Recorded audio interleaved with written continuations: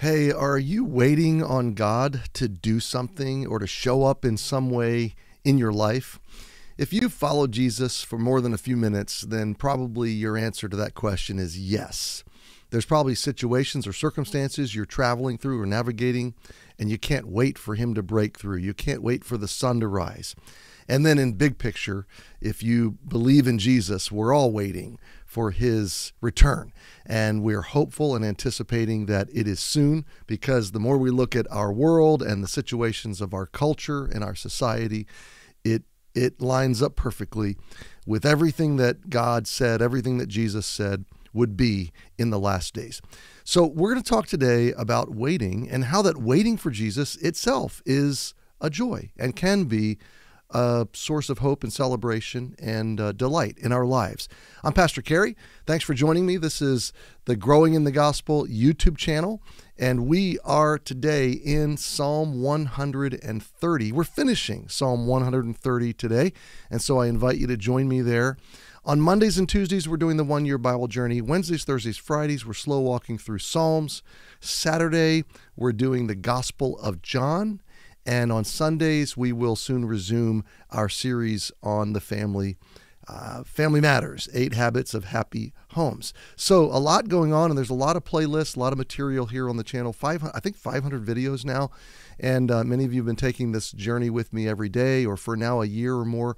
And I'm so thankful that you have. Now, I got to tell you, I'm back from a three week break. So, um, this particular video I I haven't recorded in a while. The things you've been watching the last couple weeks, I recorded ahead of time, um, and uh, I didn't want to leave you guys hanging. I didn't want to fall behind in our journey in many of these respects. So I put a lot of extra work in before break to uh, to get those videos recorded so that you could continue to be encouraged and uh, and yet now I'm back and we're resuming. And I just want to say, many of you knew that I was on a break, and you were praying for me and for our family. We had a great time. When you're in the ministry, and I guess this is true no matter what you're doing for a vocation in life, trying to get a break sometimes um, can be a difficult thing because um, there are a lot of disruptors and a lot of things, especially in a large church and a large in a large ministry. And I'm not complaining. It's amazing joy and opportunity and privilege that I have. So you get no complaints out of me.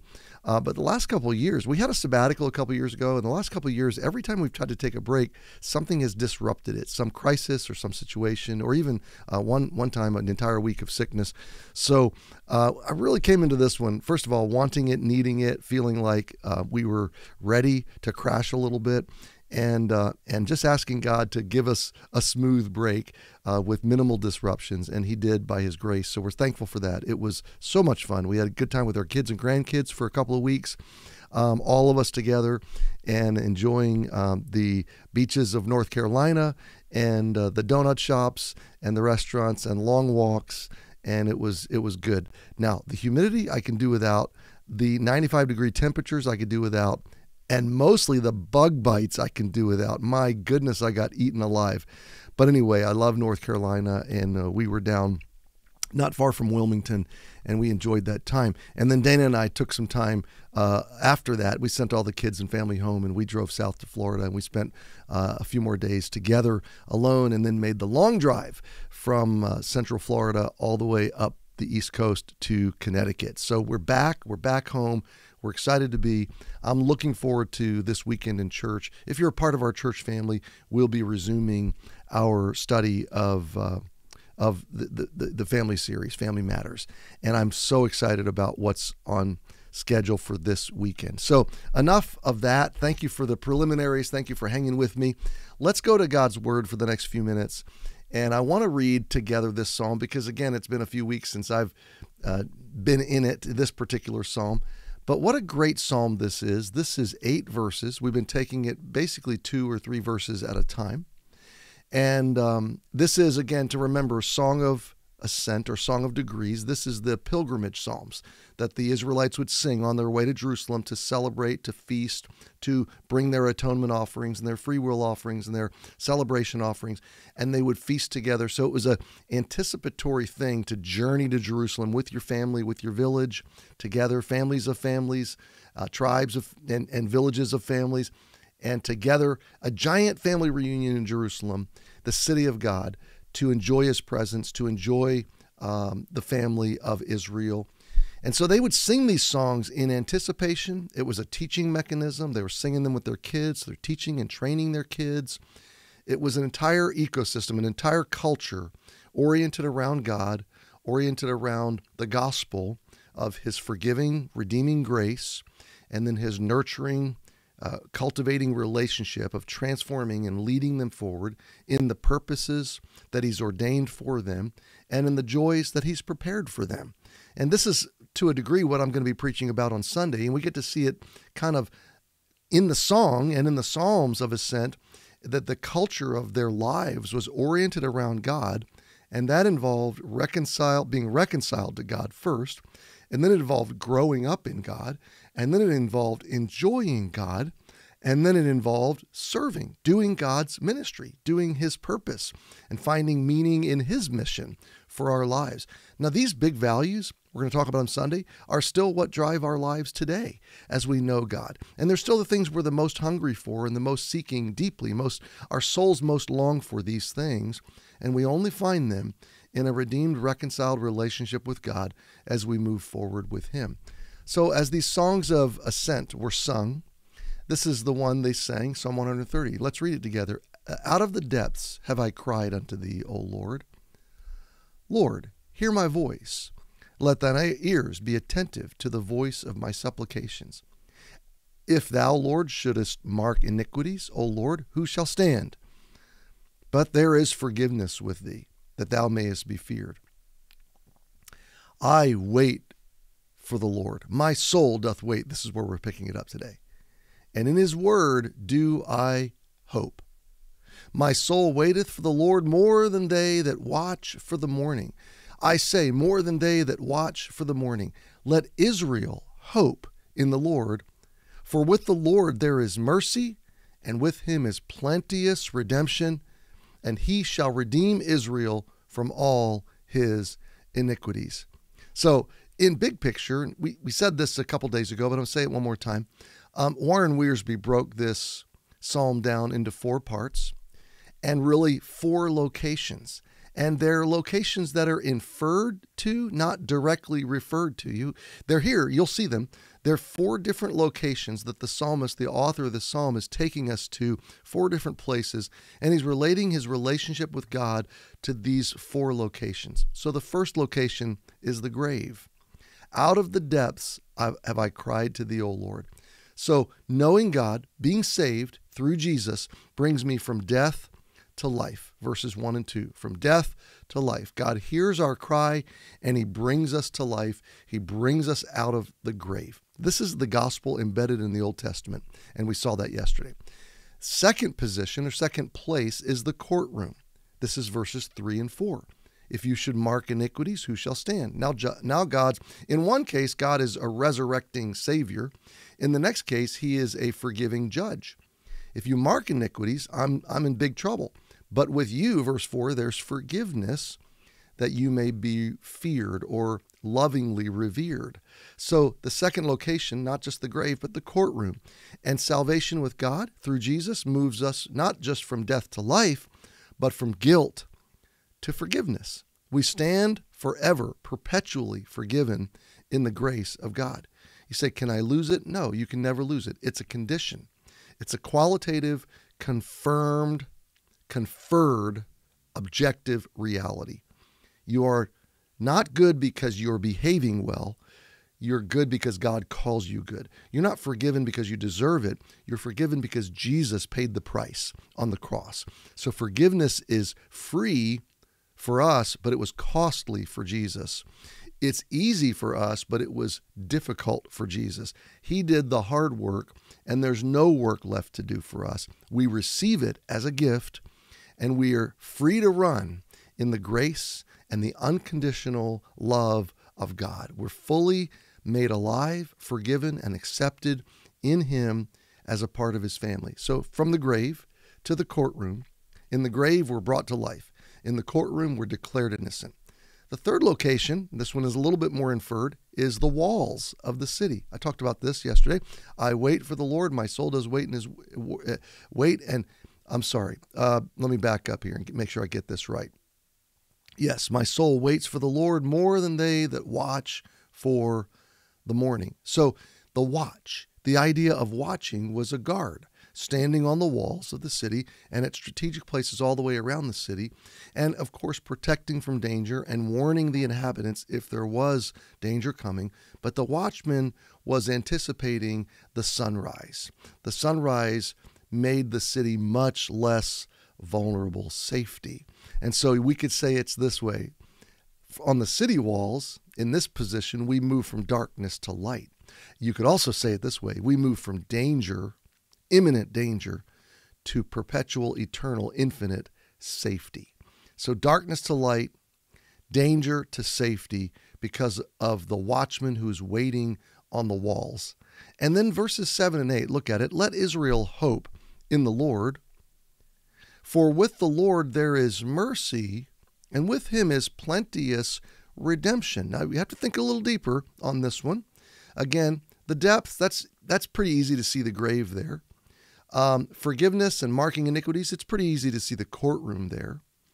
Uh, watching for the morning, unless you understand ancient culture and the city walls, that might not be so obvious that it, we're talking about a watchman on the walls. But this one is even a little more subtle, and this is how Hebrew poetry is. So let's think more deeply here. Let Israel hope. So this is a hopeless condition. But now there's hope. Hope is entered in. Hope, hopelessness to hope. For with the Lord there is mercy. So this is still a guilty condition, but now there's mercy. And with him is plenteous redemption. And the word shows up again, and he shall redeem. Redemption. Now this is the this is the real key. Okay, this is the um, this is the key that unlocks the location. Redemption, in a biblical lens, is to buy back from bondage or to buy back from slavery. And so we're moving in the gospel and in the grace and love of Jesus, we're moving from bondage to freedom. So, what is the location? It's most likely prison, debtor's prison, guilt prison, criminal prison. I'm in prison. I'm in bondage. I'm enslaved. It could be a position of slavery, but the idea here is we're moving from bondage to freedom. So, four locations the grave, Jesus moves me from death to life. The courtroom, Jesus moves me from guilt to forgiveness. The walls, Jesus moves me from danger to safety and from darkness to light. And the prison, Jesus moves me from bondage and guilt to freedom and justification, redemption. I've been bought back. I'm valuable to God. And He uh, declares me valuable. I am his treasure. And what was I bought back with? I was bought back with the precious blood of Jesus, the suffering of the Son of God. And if God spared not his only Son, how much more shall he not give us all things? He's the God who gives us richly all things to enjoy. He's the God of all grace. And every good gift and every perfect gift comes down from him, from our Father who loves us so much. So this this psalm is so much gospel. And I want you to go back in your mind now to these families journeying to Jerusalem, singing this song, teaching their children how to have a relationship with God based on being brought from death to life, based on being moved from guilt to forgiveness, based on being moved from danger to safety and darkness to light, and based on being declared free from bondage through mercy. This is all gospel. Now, I want to focus in as we close out today on verses 5 and 6 on waiting. I wait for the Lord, my soul doth wait, and in his word do I hope. And I want to speak specifically. Let's look at verse 6 too. My soul waits for the Lord more than they that watch for the morning. Built into verses 5 and 6 is patience, endurance, but patience and endurance with a positive reality to it, a delightful reality to it, a joyful reality to it. Do you know Christians, or are you a Christian, that your joy is only in what will be? Can I tell you that God wants you to joy in what is? He wants you to celebrate now. He doesn't only want you to celebrate what will be or what is coming or the fact that He is going to soon return and call us home. He doesn't only want you to rejoice in what will be. And I realize that's a huge part of our joy. This is the blessed hope, Titus calls it, and it is a huge source of our joy. But what about today? Is your life dominated by joy, by hope? But is it energized by delight in the Lord? Because that's what these last four verses are.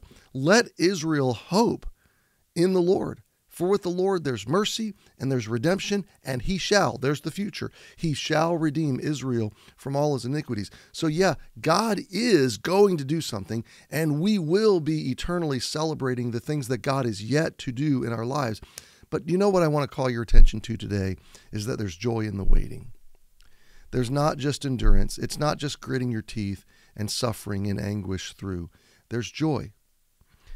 I was thinking this past week about the truth that some of the most joyful and encouraging believers I know are those who have suffered and are suffering the most.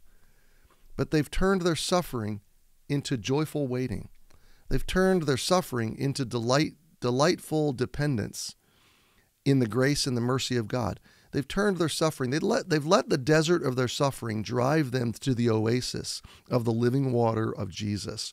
And they drink from that living water every day. And the comfort of God and the grace of God is so abundant in their lives through their suffering that it overflows out of them. And they become, like Jesus said, a wellspring of water that's overflowing from their suffering, from their hardship, from their misery. they're gushing with joy and delight and grace and mercy and abundant blessing of others. They're the happiest people I know. And the contrast is so unusual. The contrast of that is that some of the believers that I know that have the fewest troubles, the least amount of suffering, the greatest abundance, the biggest homes, the most material things, the least amount of struggles, and seems like life is just all falling in line for them. Sometimes they're the most complaining. They're the most murmuring. They're the most discontented and the most unhappy people I know. Their life is always anguish. Their life is always turmoil. It's always stress and anxiety. Even though they don't really have very much suffering or misery, they're healthy, they're strong, they're financially provided for, their family is stable, their life is moving forward. It's like, what do you what do you really have to complain about? Um, so the contrast of those who really have something to complain about, but just refuse to do so because they're overflowing with joy and delight while they wait in the grace and the comfort of God. Up against those that seem to have nothing to complain about, but can never find something to rejoice over, it is such a contrast. I want to challenge you today to take Psalm 130 and to make it your meditation again for today and over the weekend. And think about these words I will wait, or I do wait for the Lord. This is an active, engaged, joyful, hopeful, delightful, enduring. I am moving forward with the Lord. My soul is waiting on Him, and I'm hoping in His Word. This is the qualitative uh, culture of my heart and life. I am hoping in God. I am joying in God. I am anticipating the dawn. My soul waits for the Lord more than they that watch for the morning. I'm not going to be happy only when it happens. I'm going to be happy until it happens. I'm going to be joyful until it happens. Verse 7 Let Israel, let this be, the whole family, the whole tribe, the whole gathering of tribes, let all of the nation, this includes you and me, okay, we've been grafted in if we know Jesus as Savior. Let Israel hope in the Lord, for with the Lord there's mercy what do you how do you think God feels about you? Well, guess what? He feels merciful about you. He feels uh, loving about you. He feels anticipating your soon redemption and your invitation into his presence forever. He loves you, and you can rejoice and joy in that love and grace and comfort. He is plentiful, plenteous in redemption. His redemption for you is abundant. And he will ultimately finish that work of redemption. So we have on our worst days, in our most difficult situations, in the heaviest of seasons, we have a lot to rejoice over. We have a lot to celebrate. We have a lot of good news that holds us together called the gospel. Now, let me finish with this. If we read this psalm, and if I asked you, do you know Jesus this way? Let me say it simply. Are you trying to work your way into a salvation, into the salvation of God? Are you trying to be good enough to earn it? Maybe you know that you're guilty in your sin and you're trying to pay it off. You're trying to work your way there by being religious. And I want to warn you, my friend, that is a system of works and it is not true biblical salvation because good works, religiosity, ceremony, tradition, morality, generosity, charity, it never saves us. These things do not save us. There's value in living a good life and in good behavior and in morality and charity and all these things. There's value in it all but it doesn't save us. It doesn't atone for our sins. So the only way to know God, the only way to be redeemed or reconciled to God is not through my church or through my good works. It's through Jesus. Why? Because he's the one who went to the grave for me so that I could be resurrected from the grave. He's the one that sat in the seat of the guilty in the courtroom of heaven, and he took my guilt to the cross so that I could be declared forgiven. He's the one that stands on the walls of the city and guards and watches and protects and brings me from darkness to light and from danger to safety. He is the guard of my salvation and the God of my salvation. And then He's the one that when I was in prison and in bondage, gave His life to redeem me, to buy me back out of slavery to buy me back out of prison. He paid my debts so that I could be adopted and brought into his family. And if you've never received this, you cannot achieve it, but you can receive it. Excuse me. if you have never received it, then I invite you to do so right now. Bow your head and heart in the privacy of wherever you are and say, Jesus, it is not by my works that I'm saved, but it is by yours. And right now, I'm asking you to be my personal Savior. I'm asking you to come into my life and save me by your grace and by your mercy. I'm trusting you and no one else and nothing else. You alone are my Savior. That is the decision of faith to receive the gift of God of salvation. And now you can declare you can celebrate with these in this psalm and with all of the rest of us on this channel and in this family. I have moved from the grave, from death to life. I have moved in the courtroom from guilt to forgiveness. I have moved on the city walls from darkness to light. The sun has risen from danger to safety. I have moved from my prison cell of bondage into the freedom of new life in Jesus. And that is the beauty of Psalm 130. Wow. Thank you so much for joining me today. I hope this has blessed and encouraged you. I'm praying for you all. I will see you next time. Don't forget to join us this weekend, tomorrow, for the Gospel of John, Sunday for Family Matters. Have a great day.